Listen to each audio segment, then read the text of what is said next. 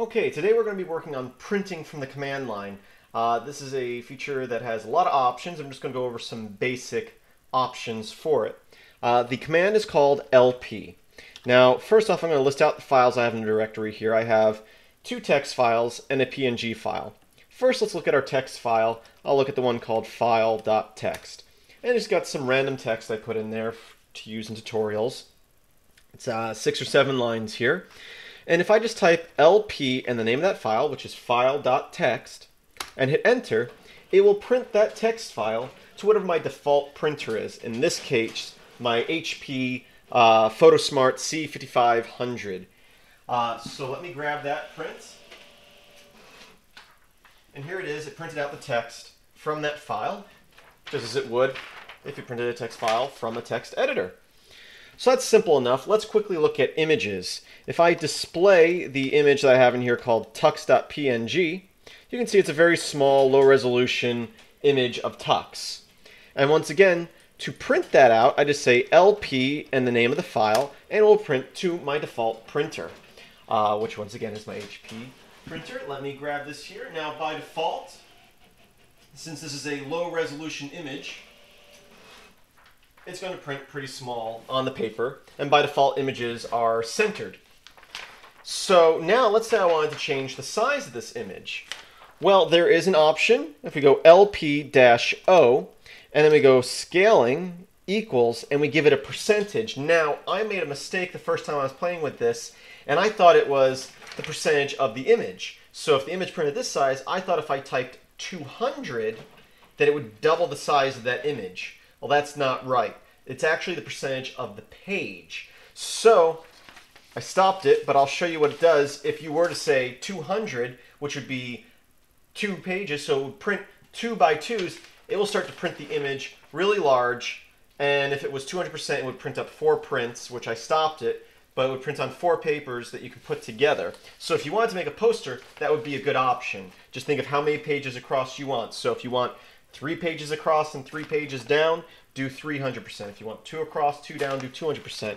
But really, I just want to print up a tux a little bit larger than this tux here.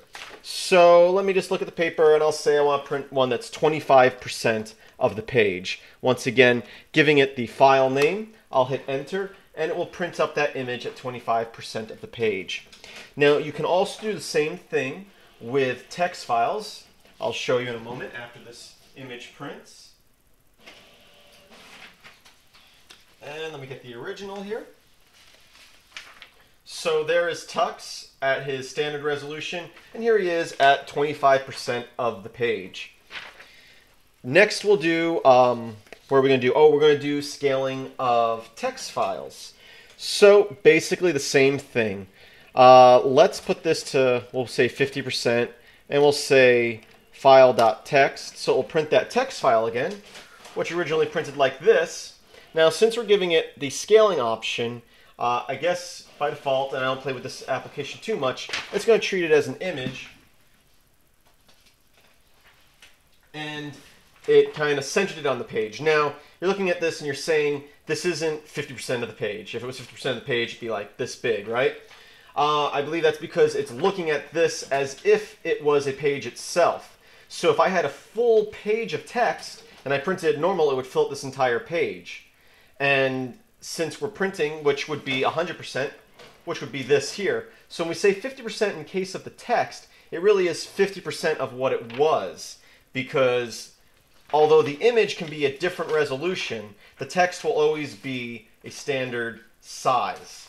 I hope I'm explaining that well, but think of it that way that when you're talking about text, say 50%, it's going to print it at 50% the size the text was because the text, 100% size of the text, is 100% size of the page. Once again, I hope I'm explaining that well. Uh, another thing you can do is you can say LP-O and say scaling.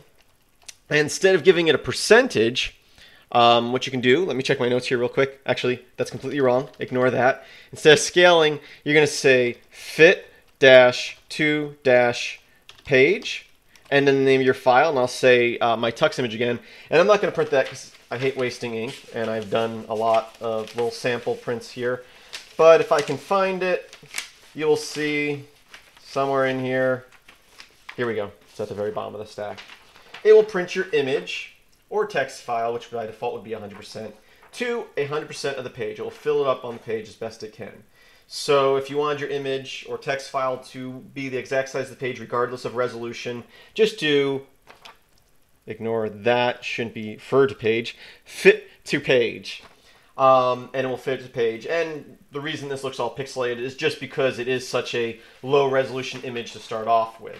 Um, you can also adjust where it is printed on the page. I'm not going to get into that in this tutorial. Just wanted to show you the basics. So that is printing from the command line. Once again, the LP command. Uh, you can also, it also has options that I haven't played with to printing to remote printers. Uh, and you, if they're password protected, you can input the password and stuff like that. Uh, I may or may not get into that in the future, but check the man page. So if you need to figure out how to do that, just say man, LP, and you can see all the options here explained out. Um, anyway, uh, thank you for watching.